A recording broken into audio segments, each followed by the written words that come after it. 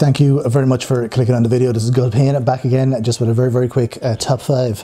Uh, so, as I said before, one of my um, a guy I'm subscribed to, PJ Venom, he done like a top five Resident Evil games. So I was like, I'll just do it, you know, a few top fives. Why not? Where I'm speaking in front of the camera. Um, so now that I have a bit of time in this roasting, absolutely roasting uh, October day, uh, end of October here in England, which is I can't believe it's not. A, you know, I'm wearing shorts every day. It's unbelievable.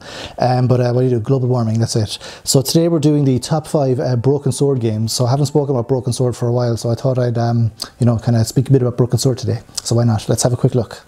Right, so in the top five then, um, coming in number five is, um, this is actually Broken Sword Trilogy. So I don't have my copy of um, Broken Sword 2 or Broken Sword 3. I don't know where they are. I know where 2 is at home in Ireland, in my mother's house.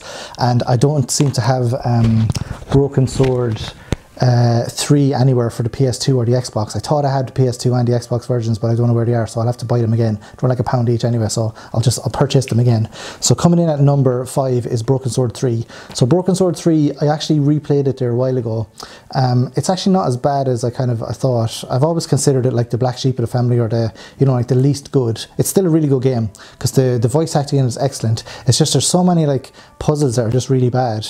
Um, so it's just a little bit not that much enjoyable. And when you have to go to like the meat packing place, or is that four? Anyway, it's one of them anyway. But um, you have to do the crates and all that. It's not as good. And they kind of do the 3D graphics where you move George and Nico around. And it's not as good as like clicking and telling them where to go, in my opinion anyway. Um, so Broken Sword 3 at number 5. Coming at number 4 then is uh, Broken Sword 5 so Broken Sword 5 is the new one. Um, it's excellent. I have it for the PS PS4 and the PC because I bought it straight away for the PC when it came out, but I didn't know it was for the PS4. Then I bought it for the PS4, and then I played it on PS4, and I'm playing it currently, uh, like live streaming it to kind of you know to go through the whole game. But um, I'm just doing it in parts because it's hard to get to time because these games take ages, particularly when I'm clicking around. I don't know where I'm going. Um, so Broken Sword 5 is fantastic. The story is the story is excellent in Broken Sword 5. The voice acting, the guy sounds the same like 20 years later um, George Stobbart, uh, the guy, I can't remember his name now, um, the guy that does um, George's voice. I think it's the same. Yeah, this is the same guy since the first game. So he's like the iconic voice, and I think they've changed Nico as voice actress because she sounds a bit different. I'm not 100 percent sure on that though. But um, yeah, just fantastic. And uh, Duane and um, Pearl are in it as well, which is always great to see. Like you know the, the characters from the previous games um, in come back, uh, come back again. And then coming in number three then will be Broken Sword Two um, so Broken Sword 2, again, a lot of people would have Broken Sword 1 and Broken Sword 2 in sort of the same vein because they're a very, very similar game. It's almost like the same game, you know, just split into two parts. Um, but Broken Sword 2 for me is is is excellent, it's really good. Um, but I just like the other games better. That's the only reason. Like so Broken Sword 2 where you you know you go to like South America and there's like a really good like um sort of I don't know how you describe it, just sort of like adventure story and it's absolutely fantastic. And then coming in number four number two then is Broken Sword 4, The Angel of Death. So this would be a lot of people's least favourite one is uh, Broken Sword 4.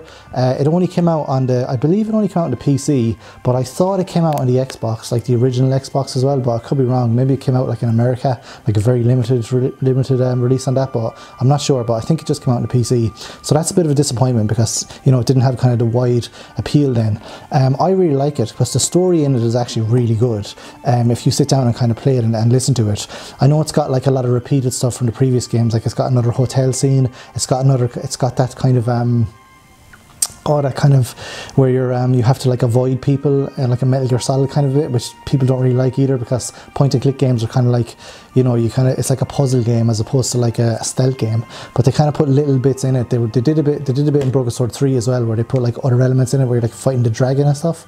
Um, and then Broken Sword 4 they tried it again and then with Broken Sword 5 they just went back to the you know back to the original and just like slow kind of you know story based adventure game um, where you have to kind of solve little puzzles as you go um, which is the kind of I, th I, think that's the best way to have Broken Sword. I mean if it's not broke don't fix it unlike the sword. Um, so then we've got at number one then we've got the the original. Uh, so Broken Sword um, the Shadow of Templars. I've gone for the Wii version because the Wii version has additional scenes.